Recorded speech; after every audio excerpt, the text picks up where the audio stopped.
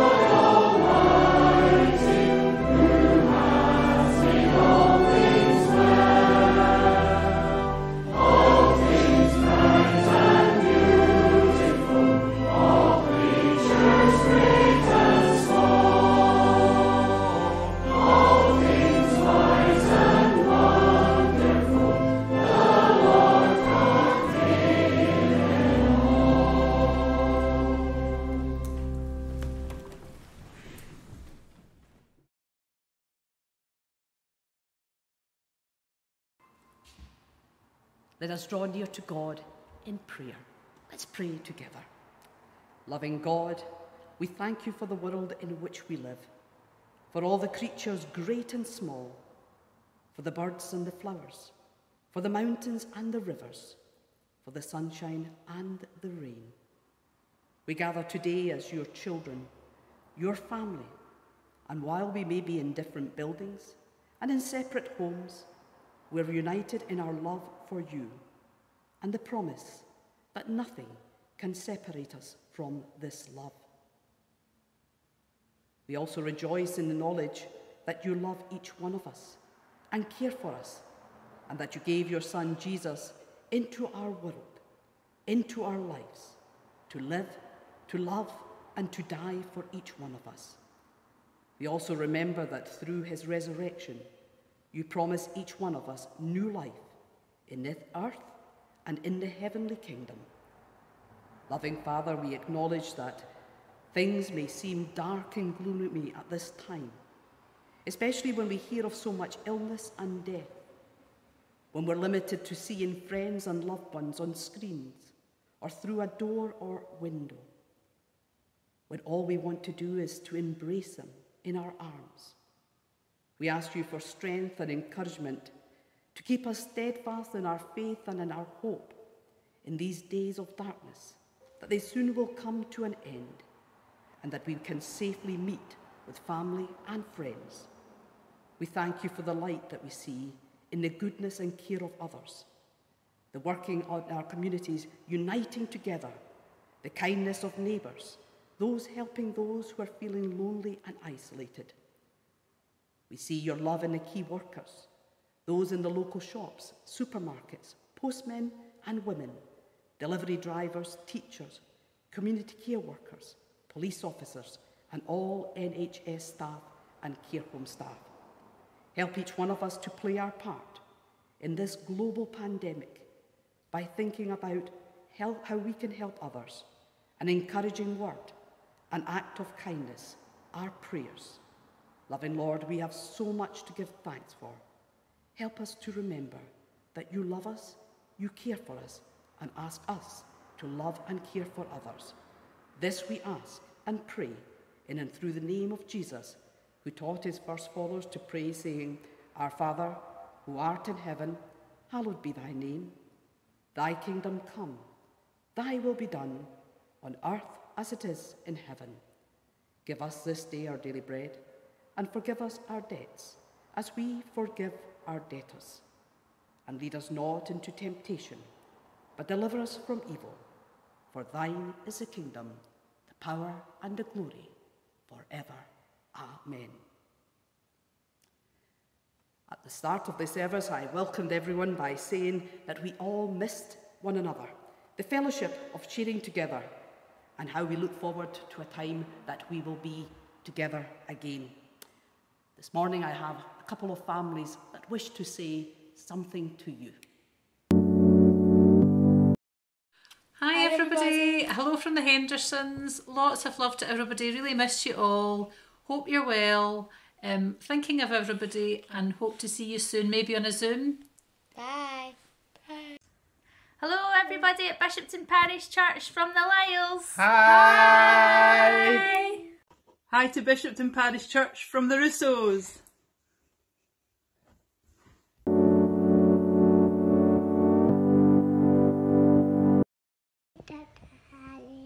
Hi, church from Harry. Good morning, Bishopton Parish Church from the Coming Ladies. We hope you're all well and staying safe. And remember, keep washing those hands. Bye. Bye. Good morning, Bishopton Parish Church from the Martyrs. Hello, Bishop Bishopton Church. Hope you're all keeping well from the bad ages. Bye. Hello. I'd like to thank all the families who took part in it. Looking round the cornerstone, you might be able to see some of the pictures behind me here that the boys and girls have sent in. And these are not just pictures inside the cornerstone, but they're also brightening up the outside of the cornerstone. And thank you to everyone who contributed. I'm still looking for more pictures. We've got lots of windows, so it's nice for people to see in and see that the church is still very much open Although our, close, our doors are closed, the church is open. So don't forget to send in all your pictures. It was lovely to see the families, uh, those that saw it on the YouTube clip. Uh, for those that are listening, there was a number of families and they were waving uh, to the congregation whether they be at home, and uh, that's lovely. And that's one way that we can all use our hands by waving to people. One of the things that I've certainly become aware of in the past six weeks is about how much we use our hands. And uh, let me see, I've got something right here just to illustrate the point. And for those that are, are listening in, I'm, I'm lifting up some large, big hands. And here I'm, I'm waving them here. But you see, we use our hands for so many different things. I certainly use them when I'm talking and when I'm preaching. Sometimes I have to put them down so that there's not a distraction. But we use them for opening doors. We use them for, let's see, opening a paper. If we didn't have that, we wouldn't be able to, to open a paper or read a, a book. I have a can of, of Coke here. Again, I could possibly try and do it with my, uh, my, my teeth and whatever, but certainly it would be very difficult. We use our fingers and we use our hands to be able to, to open up things. How important that is. Over the past six weeks, we've also been, become aware of how important it is to keep our hands clean and to wash them and to use hand gel, especially if we've been outdoors or if we've touched anything outside or when we come in and we touch anything in the house that's been outside or been delivered to us, and how important it is we keep our hands clean and free from the virus.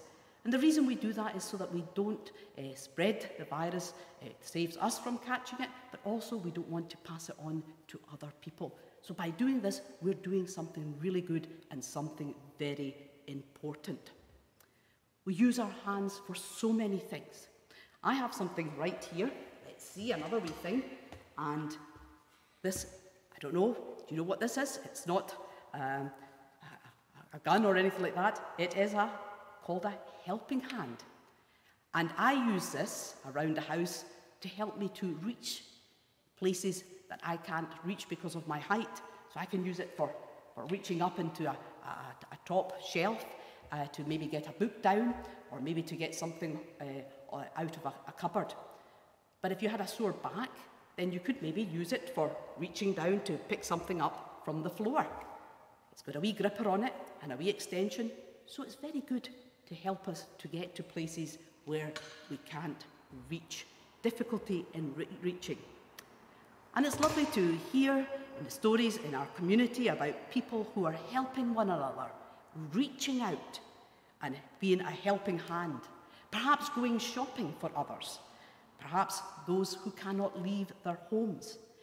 It might be just a case of picking up a newspaper or maybe a pint of milk, but this little act is, makes a big difference. It makes such a difference for those that can't get out. Or it might be just picking up the phone and ringing a neighbour or a friend or somebody that you sit beside in church normally.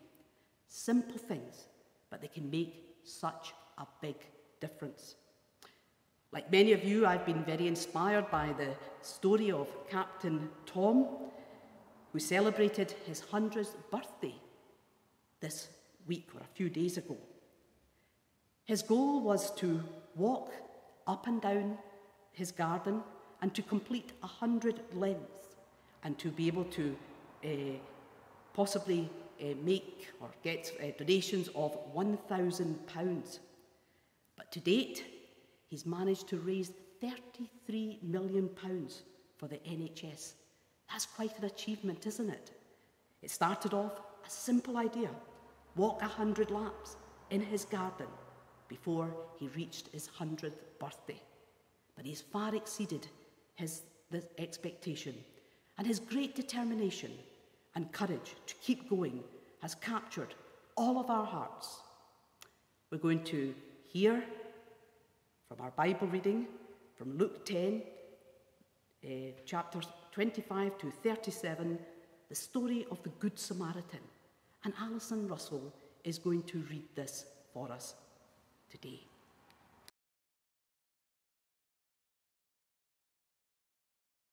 This morning's reading is from Luke chapter 10, verses 25 to 37, the parable of the Good Samaritan.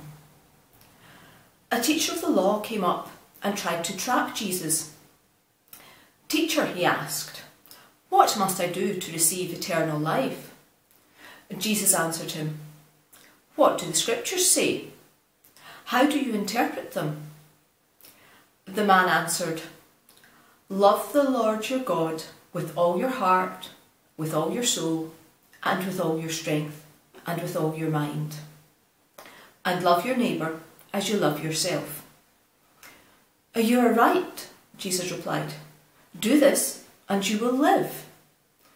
But the teacher of the law wanted to justify himself, so he asked Jesus, Who is my neighbour? Jesus answered, There was once a man who was going down from Jerusalem to Jericho when robbers attacked him, stripped him, and beat him up, leaving him half dead. It so happened that a priest was going down that road. But when he saw the man, he walked on by on the other side. In the same way, a Levite also came along, went over and looked at the man, and then walked on by on the other side. But a Samaritan who was travelling that way came upon the man, and when he saw him, his heart was filled with pity. He went over to him, poured oil and wine on his wounds, and bandaged them. Then he put the man on his own animal and took him to an inn where he took care of him. The next day he took out two silver coins and gave them to the innkeeper. Take care of him, he told the innkeeper, and when I come back this way, I will pay you whatever else you spend on him. And Jesus concluded, In your opinion, which one of these three acted like a neighbour towards the man attacked by the robbers? The teacher of the law answered, the one who was kind to him. Jesus replied, You go then and do the same. Amen, and may God add his blessing to this reading of his word. Thank you, Alison. And can I assure everyone that uh, our readings and recordings are done at separate times? This is one of the most popular Bible stories. It's one that's been told and retold throughout the generations throughout the centuries to children and grown ups. In fact, even folks that don't regularly attend church know the story of the Good Samaritan. And when someone helps another person out, they're often referred to as being a Good Samaritan. In this story, there are five characters the man who was the victim, the one who was robbed, he'd been beaten, and he'd been left lying on the road, injured and alone. If no one had helped him, he would have died. This man desperately needed help. Then came along three men. The first one was a priest, but when he saw the man lying on the ground, he crossed the road and he walked on by.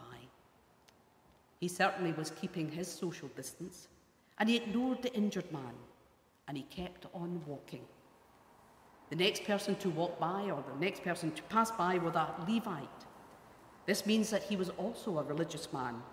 And according to the passage, he went over to the man, took one look at him, crossed the road, and walked on. Perhaps he thought there was not much that he could do for this victim. Perhaps he was afraid to get involved. But like the priest, he kept his distance. Then along comes the hero of our story, the Good Samaritan. But there's a little twist in this story.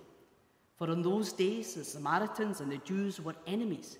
They hated each other. Yet, it was a Samaritan that came to this individual's aid. He bandaged up his wounds.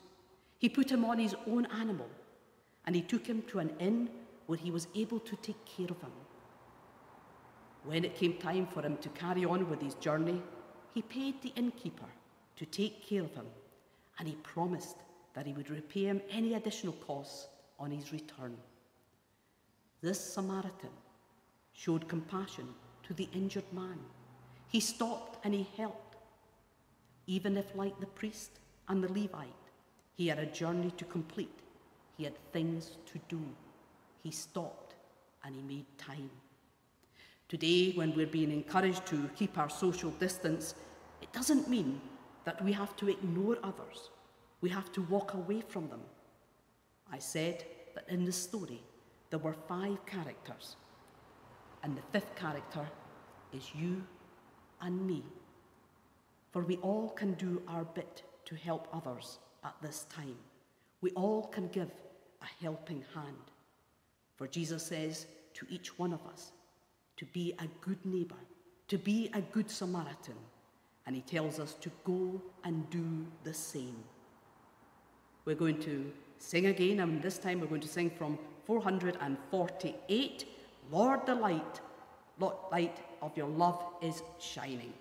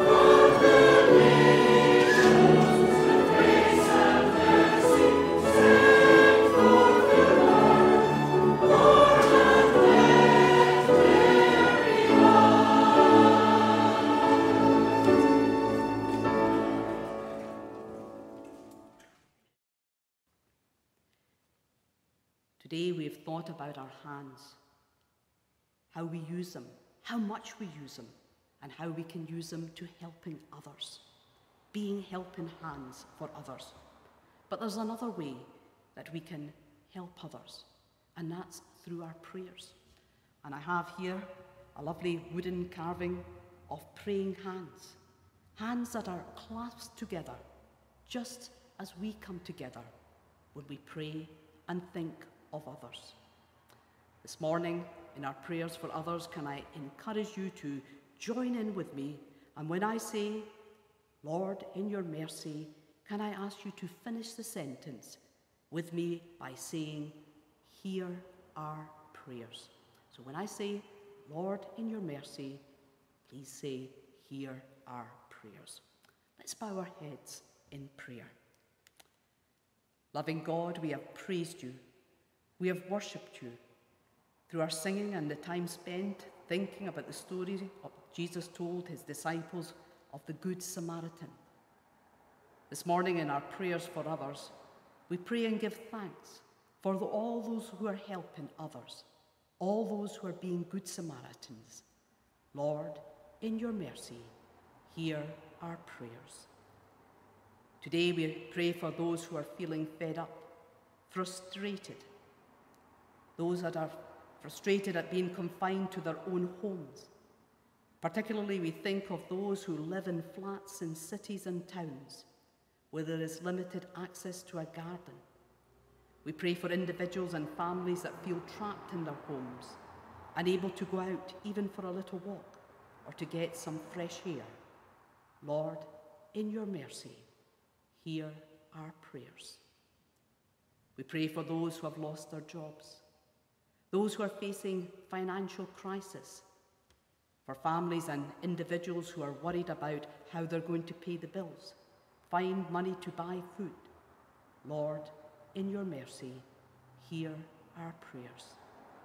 We give thanks for the food bank and all other community services providing food parcels to those in need at this time, for all the Good Samaritans involved in donating and distributing this food.